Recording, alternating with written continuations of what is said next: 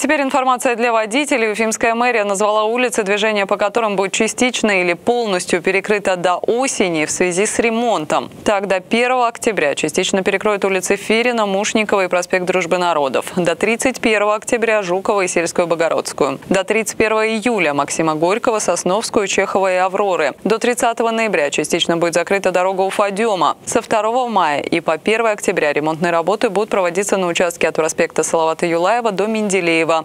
Перекроют улицы Бессонова и 50 лет СССР.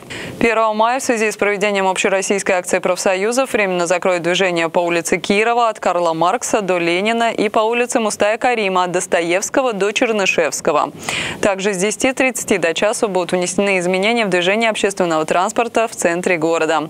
Планируйте свой маршрут заранее и в продолжении темы расширенный обзор происшествий на дорогах за неделю от Ильяса Гумерова.